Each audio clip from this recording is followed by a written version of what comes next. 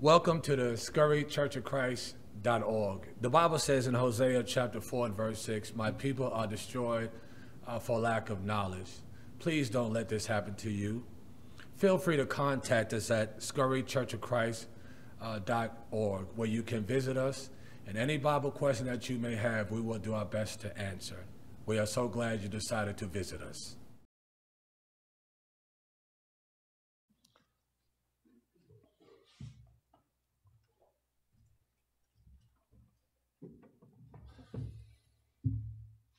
Morning. I want to.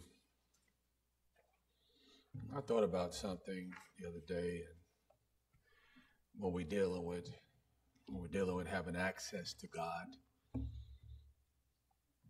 And as we look at that, we know that if we're found faithful, turn to Second Chronicles chapter uh, chapter 26. Second Chronicles chapter 26. Then we'll quickly go to Leviticus chapter 16, verse 1 and 2. But as I, I want you to think about uh, something this morning, and as we know that uh, we, if we're found faithful, the Bible teaches we, because of because of the blood of Christ, we have access to God the Father. So we have to go through Christ. So if I am the way, the truth, and the life, no one comes to the Father but through me. And so that's how God set it up, and that's how it is. And so I want you to see something, and as we know, as we'll get there, and in Hebrews says we must, we can now uh, appear boldly to the throne of grace. Boldly. So with full confidence that I can go to the throne of grace where the Father is. But I want us to see that as now. And, and, and, we look at the future, but we have, we have access now at this moment. Those who are in Christ have access now to uh, speak to the Father through Jesus Christ. Now, but I want you to see how interesting this is in Second Chronicles 26 and verse 16. Notice this king.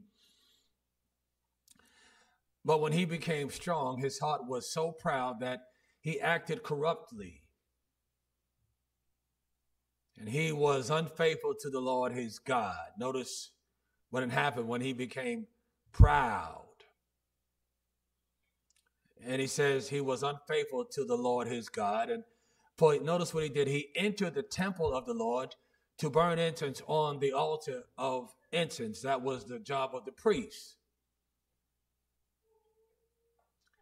Then Azariah, the priest, entered after him, and with him 80 priests of the Lord, uh, valiant men. That's how serious it is. That's how serious it was in the first covenant. That notice that this is the king, thought he had the authority to do what he wants to do. And and Azariah the priest entered after him, and 80 with him. It's a serious matter. They opposed Uzziah the king and said to him, It is not for you, Uzziah, to burn incense to the Lord, but for the priests, the sons of Aaron, who are consecrated to burn incense. See that? Get out of the sanctuary, for you have been unfaithful and will have no honor from the Lord God. Get out. He's the king. And so, uh, in his mind, he had authority to forsake the law of God. And they said, Get out. But I want you to see the picture. It's he's standing there with he's standing there with 80 priests. It's a serious matter. But notice um, Uzziah in verse 19, but Uzziah with a censer in his hand for burning incense, he's going to do it anyway, was enraged. And while he was enraged with the priest, notice this the leprosy broke out on his forehead before the priest in the house of the Lord beside the altar of incense. God did that. But notice where he is, beside the altar of incense. He's not supposed to be there. Uh, you, you see, God is standing by his word. He was warned by Azariah, then 80 priests. He's not supposed to be there. And so uh, he does it, decides to do what he's going to do, but leprosy breaks out. See, broke out on his forehead before the priest in the house of the Lord beside the altar of incense. He wasn't supposed to be there. Azariah the chief priest and all the priests looked at him, and behold, he was leprous on his forehead, and they hurried him out of there. He's unclean. The king. And he himself also hastened to get out because the Lord had smitten him. Notice that he himself hastened to get out. Now he gets out. See? But notice verse 21. It's a serious matter. King Uzziah was a leper to the day of his death. Wow. And he lived in a separate house, being a leper, for he was cut off from the house of the Lord. And Jotham, his son, was over the king's house, judging the people of the land. Notice that. That's how he died. And that's not even in the Holy of Holies. That was in the holy place, but he wasn't supposed to be there. That's not even, that's near the Holy of Holies. And so he, God turned him into, gave him leprosy, and he was unclean until his death. And so I want you to see it's a serious matter. Turn Leviticus chapter, uh, chapter 16, and chapter 16 and verse 1. And and so we, it's, it's a serious matter. It's, I want you to think about this. It's, it was serious in the first covenant. He didn't go into the Holy of Holies, he went into the holy place where the priests go continually, but he wasn't supposed to go in there and burn incense. God confirmed that's true by uh, he was struck with leprosy, but not not not uh, uh, uh, for a year or months, whatever, until the day he died. Notice in chapter 16 and verse 1 Now the Lord spoke to Moses after the death of the two sons of Aaron. You know, that's Nadab and Abihu because they offered strange incense. It's a serious matter. See, and when they had approached the presence of the Lord and died because they approached him wrong. Now, watch. The Lord said to Moses, Tell your brother Aaron that he shall not enter at any time into the holy place inside the veils. That's going into the Holy of Holies. That's where the presence of God is. Now, watch. And so he says, before the, notice this, before the mercy seat, which is on the ark or he will die. Why, God? He says, For I will appear in the cloud over the mercy seat. Aaron shall enter the holy place with this, with a bull for a sin offering and a ram for the burnt offering. But listen, if he does not do it according to my will, he will die. This is, we get the idea uh, of the mercy seat. The mercy seat, of course, was the lid on top of the ark. It's like God is sitting there. And we look at Psalm 99 and verse 1. It says, The Lord reigns, let the people tremble. He is enthroned above the cherubim. Let the earth shake. He's enthroned above the cherubim. That's above the mercy seat. You have the cherubim on each side of the mercy seat of the lid. Cherubim on one this side and cherubim on this side. And so God is sitting there. That's his place. That's his throne. And so anyone that entered in there, not according to his will, who broke his law, uh, would die. And so only a high priest would, was able to enter there once a year. And if he did that anytime after that or before that, he would die. And so, uh, when he, now watch this. I want you to see this. So we, and, and so we know that that's that's where the presence of God was. Now I want you to go to Hebrews chapter 4. Hebrews chapter 4, and I want you to see this. Hebrews chapter 4. And look at verse uh, 15. Hebrews chapter 4 and verse uh, 15. Now, watch this. And so, but no, let's go to Hebrews chapter 10 first. Hold your spot there. You know how I am. Nothing, nothing's going to change. Nothing will ever change.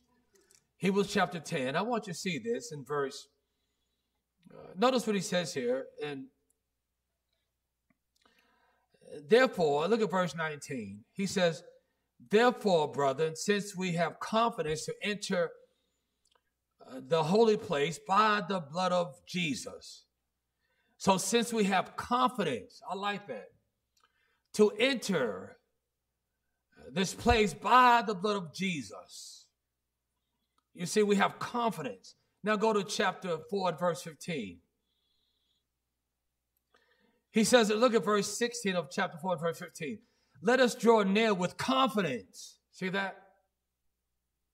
That's with boldness. We have confidence uh, to the throne of grace so that we may receive mercy and find grace to help in time of need.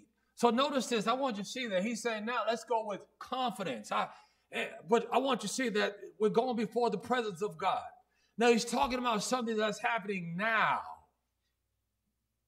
The later is the fruition. If I'm found faithful, then that's why I'll, I'll be with Christ forever. Because watch this in 1 Corinthians 15 24, then comes the end when he hands over the kingdom to God and Father, when he has abolished all rule and authority and power. That's that's later on. I'm gonna go. I'm going to go back to that, but I'm going to show you something. But he's talking about let's have this confidence uh, to go before him now. You see, because watch this. Therefore, let us draw near with confidence. See, not like the old covenant, they were afraid to go before him. In Exodus, they told Moses, uh, You speak to us, not God. They were afraid. You remember Moses was going up to the mountain, and when he came down and gave uh, them instructions, they said, You speak to us. There's no confidence because they knew that uh, there was, they saw the thundering and the lightnings, etc., and they were afraid. There, there's no boldness there. There's no, there's no confidence. Moses, you, you speak to us. We don't want to speak to God. You speak to us. There's no, we're talking about the presence of God. And so, but he's the opposite saying now because of the blood of Christ, we have confidence and boldness. I can go with boldness and confidence that I can go before the presence of the Father. But it starts now. But notice how I know he's talking about now. He says, verse 16, therefore let us draw near, see, with confidence to the throne of grace. I need help. It's a throne of grace now. See, it changed. So, because the blood of Christ now is a throne of grace. It's a place where I can receive the help that I'm looking for now. At first, God said, uh, Don't come in. And, and any of those who, even those who disobeyed Him, that were near the Holy of Holies, they were in the holy place, they were still suffered. And that's how serious it was. And so it wasn't like a throne of grace. But notice what he's saying I can, I can come near to the throne of grace when I need help. It's like I don't deserve it, but God is going to give me what I don't deserve. How am I going to get this? Why do I get this? I get it because of Jesus Christ. He made it possible for me to go before Him. So that we may have, see that, so that we may receive mercy and find grace to help in time of need see, I'm a Christian and, and, and I'm, I'm looking for the climax to fruition at the end of time to be with the Father forever. But I need to know that I can go before Him now through Jesus Christ. But Jesus Christ is the mediator. See, He's the go between. And because of Him, I can, I can pray to the Father. Now, now, watch this. I want you to go to Acts chapter 8. Go to Acts chapter 8, or rather, Romans chapter 8. Romans chapter 8. And, and what? I want to show you something. I can go and speak to him now because of Jesus Christ. Now, I don't know everything that's going on up there, but I know what's going on up there in the heavenly realm. And you see why I'm saying this. In Acts chapter, or rather, Romans chapter 8 and verse 22. Watch this. Romans chapter 8 and verse 22.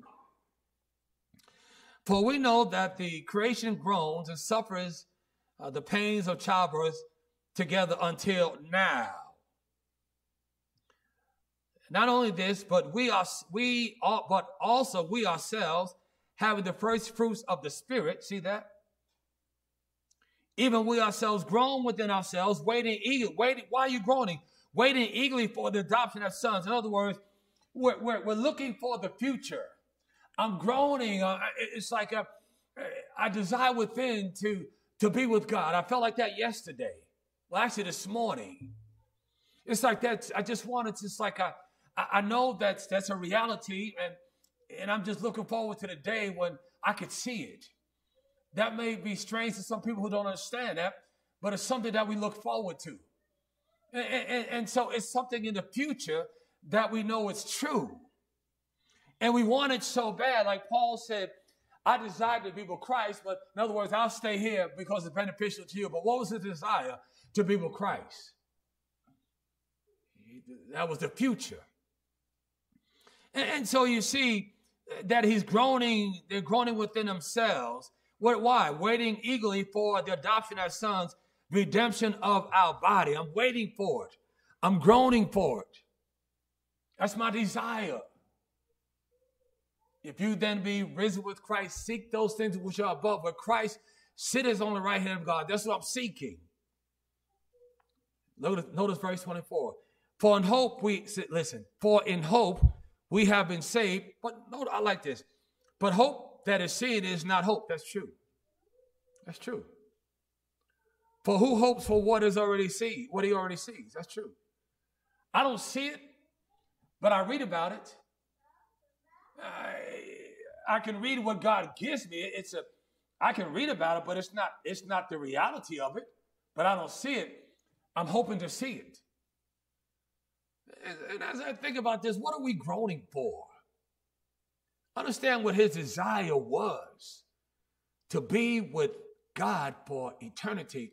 And he knew that by the grace of God, he uh, God sent Jesus Christ and he was saved, being obedient to the doctrine because of his salvation, because of his obedience. And he stayed, it's like he knew if he stayed faithful, then he would be with, he would see Jesus and be with the Father forever. That's what he's groaning. He has that.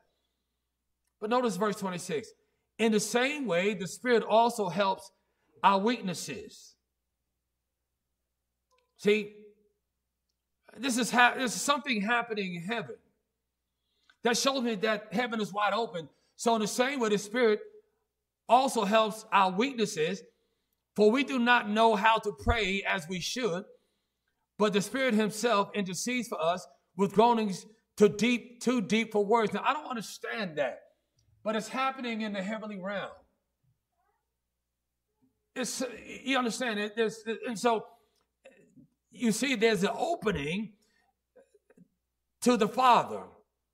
Because what is it? What is the intercession? It's almost there's there's a go between, and so and so and as I looked at this, it's like okay, we'll see that Jesus Christ intercedes. So why can't they both do this? And I, why can't they both do it? Who says they can't? And, but I want us to see. So we get in. Sometimes we get into with this and that. It's like there's an where it's open now. Our prayers are taken to the Father. You understand that because He's on the throne, He's there, and you have the Holy Spirit. We'll see Jesus Christ. It, it's all happening in the heavenly realm, and so they know what I'm dealing with down here. They know they know how I feel down here. They know what I'm going through. When it's so bad that the words just don't come out, they know exactly what I mean. But where is it going? It's going to the Father. See, that's access to Him. So it's like we're waiting for the, the end of it. We're waiting for the day when He uh, Jesus delivers the kingdom to the Father, but we have access right now. And, and, and as I pray to Him, it goes to the Father, but it has to go through Jesus Christ. That's just how He set it up. And that's how it should be. And, and so there's something happening in heaven. I can understand that. but I know that they understand me. They understand how I feel. They understand what I want to say. They understand me. They're working on my behalf. Now that's deep to me. That's the Godhead, the Father, the Son, and the Holy Spirit. You see, they're all working together to help me.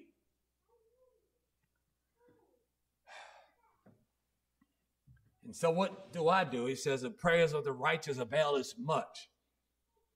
In other words, they have strength. And so I have to make sure that I'm righteous in the eyes of God, following his law, living according to his will.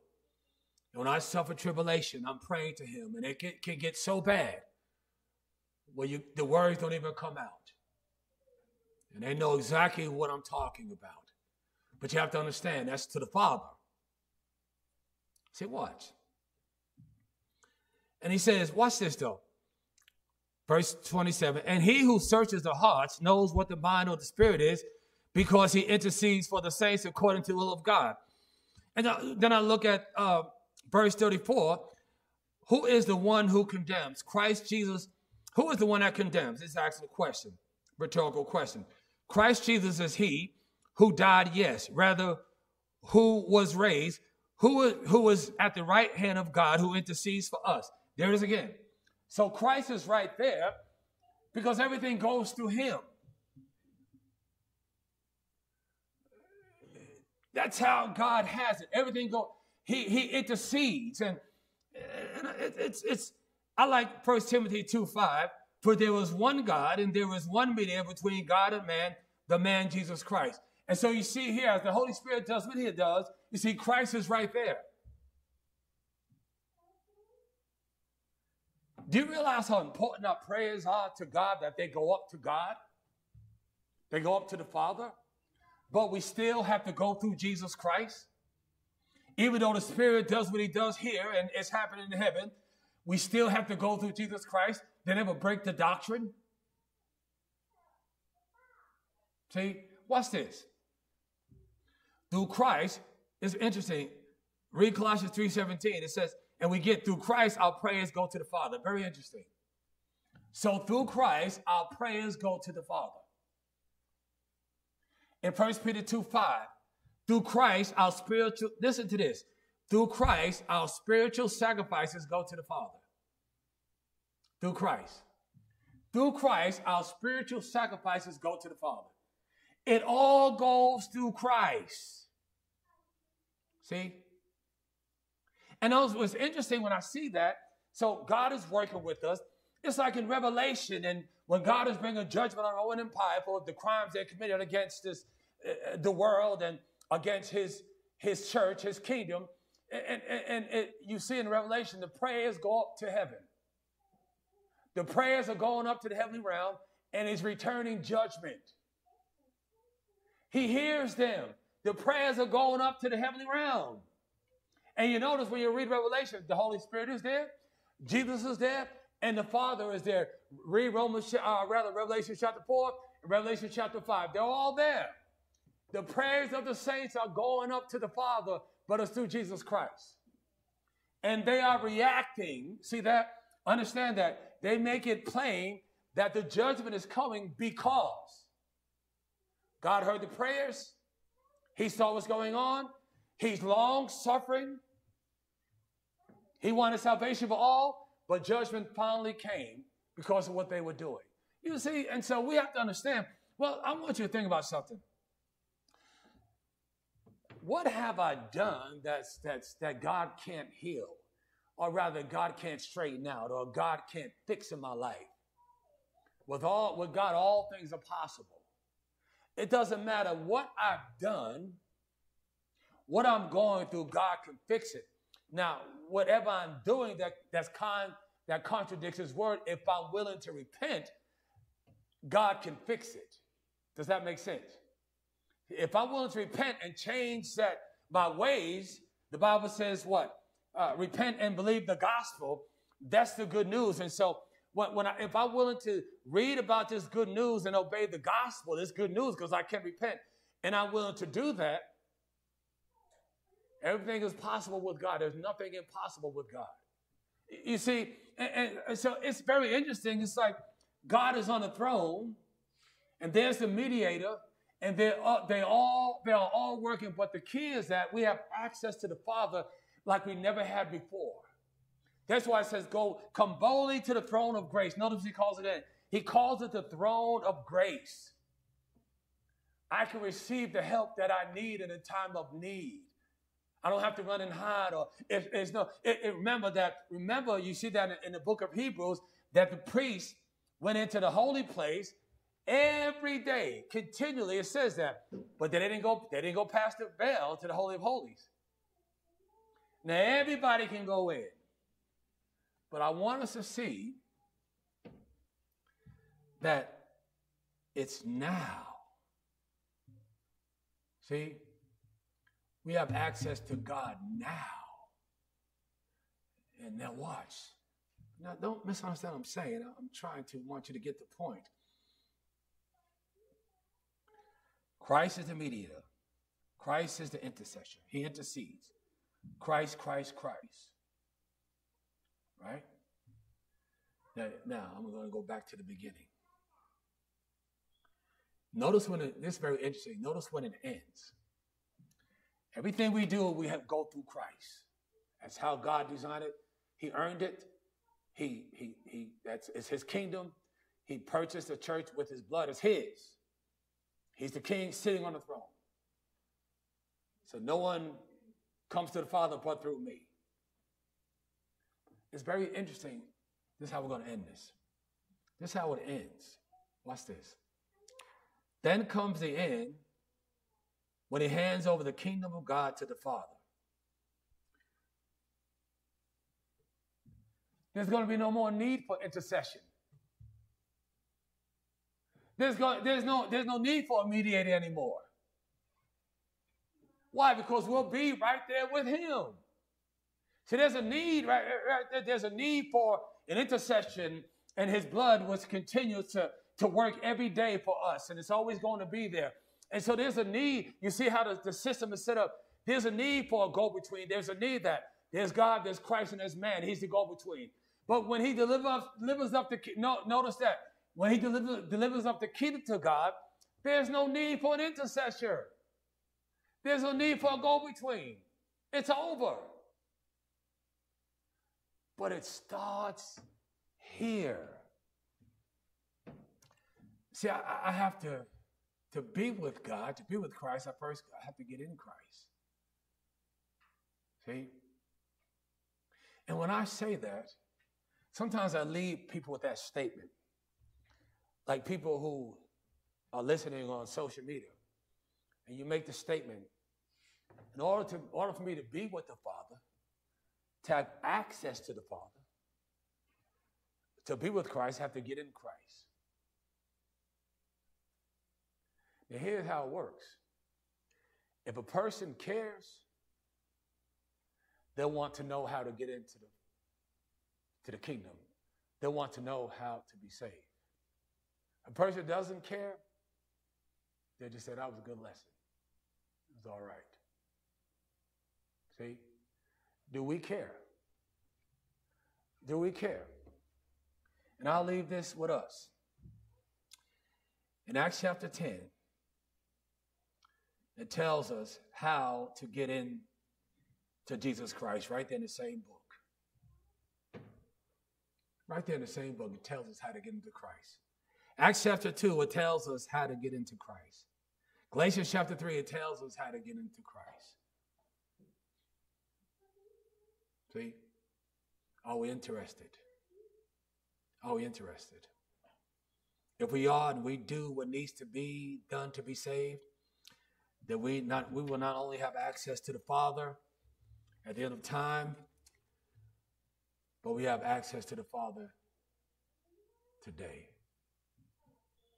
And we who are in his kingdom, those who have been baptized for the mission sins according to God's will, God add them to his kingdom. We have access to the Father. He knows what we struggle with. He knows our tribulations. He knows who we are. He knows exactly what's going on. And we have access to Him through Jesus Christ. Jesus is the key. Are you in Christ this morning? Anyone here this morning needs to repent. Jesus said, except you repent, shall all likewise perish. If we can help you, please come out and stand and sing the song for the invitation.